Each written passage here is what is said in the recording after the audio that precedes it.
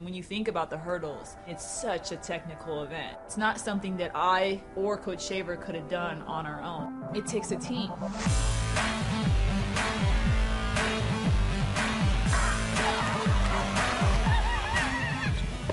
You have just 12 seconds to do all of this. We can find the mistakes before we go to a big competition. It's just definitely vital. If I have one mistake over one hurdle, that's it. That's the race. You're over. See you in another four years. She came to me and, and was wondering and asking me, you know, what are the things that we might be able to do that are going to help you, uh, you know, as we go on through the process of, of uh, trying to improve. I was like, Coach, what do I need? And he was like, we need data. From that, Lolo and Coach Shaver uh, identified a few things they wanted to measure in terms of her running technique. That's where the idea was born.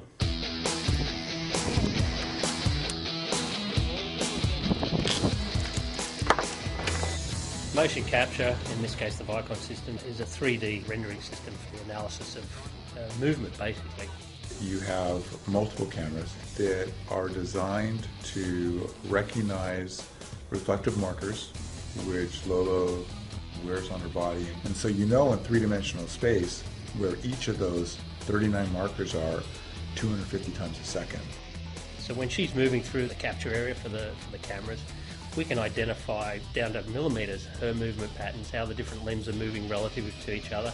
So through that analysis and understanding, we can really start to pick it apart.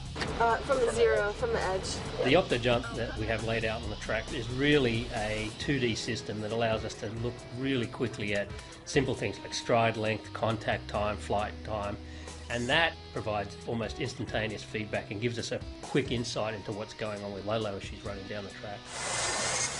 In the old days, uh, high speed uh, capture was film, and most of the time the film broke. Nowadays, the Phantom Flex that we're using out on the track with Red Bull Project X provides 1,000 frames per second, high resolution, and just amazing turnaround time. It's instantaneous in terms of our feedback to the coach and to ourselves. I mean, this is, this is totally awesome. The beauty of it is that the motion capture is going, the OptoJump's going, and we have the Phantom High Speed. We can actually integrate all three uh, sources of information and provide one overall and really comprehensive look at what she's doing. Lolo runs the 100 metre course in about 12.5 seconds. It's 13.5 metres to the first hurdle, where Lolo reaches a speed of 8 metres per second.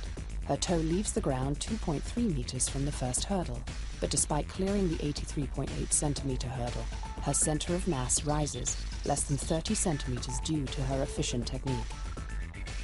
She lands 0.6 meters past the hurdle and maintains a rhythmic pace of approximately 8.4 meters per second through the rest of the race. One of the many things the data can measure is contact time, or the amount of time Lolo's foot is in contact with the ground.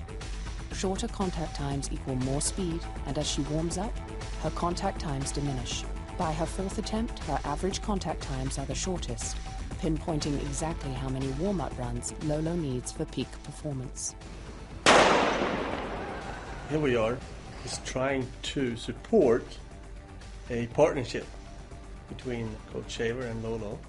We're trying to marry really cutting edge, sophisticated technology with high level performance and coaching. Her center of mass is directly above her ankle. Coach Shaver gets something that he's sort of looking or wants to pay attention to in a little bit more detail. The hips have to be projected upwards. And from there, he is able to sort of take his own experience and what he understands about the sport, and that's where the real beauty of the information comes to play. The data that we're, you're, you know, that you're providing me is data that just takes all the total guesswork out that that uh, over the years that I've had to do, and we're seeing some of the same things that we think need to be changed, but this really gives us an opportunity to where we can fix it.